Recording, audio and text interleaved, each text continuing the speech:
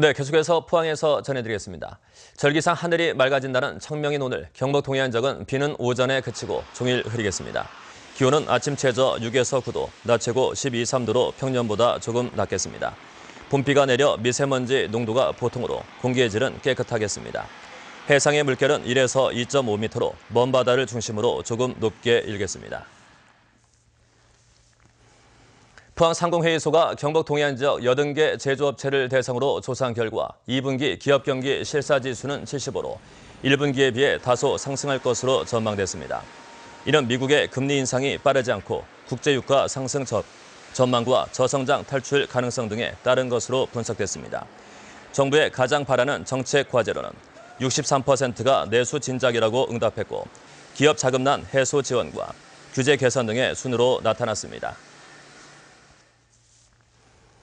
포항시 자원봉사센터는 자원봉사 활성화를 위해 지역민 스스로 운영하는 동자원봉사센터를 설치 운영키로 했습니다.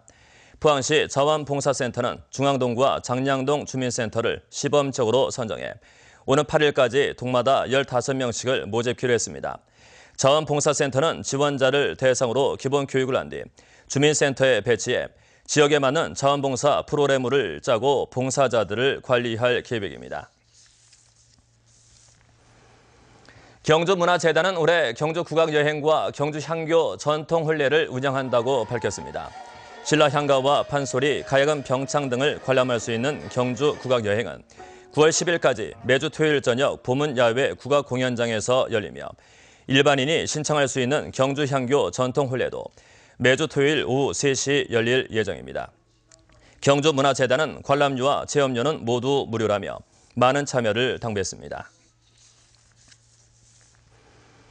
근로복지공단은 4월 한 달 동안을 산재보험 부정수급 신고 강조 기간으로 정하고 부정수급 사실을 신고하면 최고 3천만 원까지 신고 포상금을 지급키로 했습니다.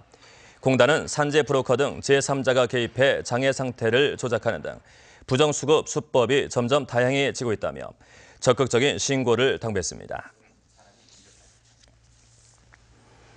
국립수산과학원은 넙치 종묘 입식철을 맞아 양식장의 전염병 관리에 유의해 줄 것을 당부했습니다.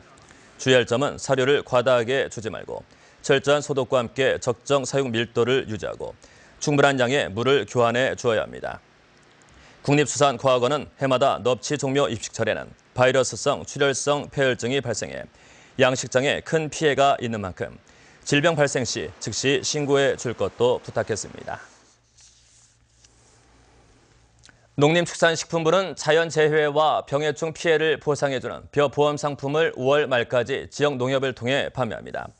재해보험에 가입하는 농가에는 정부가 순보험료의 50%를 지원하며 지자체가 최대 30%까지 지원해 농가의 실보험료는 20% 안팎에 불과합니다. 특히 올해는 재해 피해가 없어 재해 보험금을 받지 않으면 농가가 부담한 보험료 일부를 돌려주는 무사고 환급 제도를 도입했습니다. 행정자치부는 경주중앙시장 등 전통시장 다섯 곳에 올해 야시장을 개장한다고 밝혔습니다.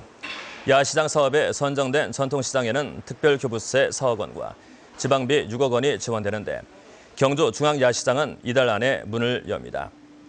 한편 야시장 육성을 추진하려는 자치단체는 다음 달 4일까지 사업계획서를 행자부로 지원하면 됩니다. 네, 서울 MBC 뉴스를 마칩니다. 감사합니다.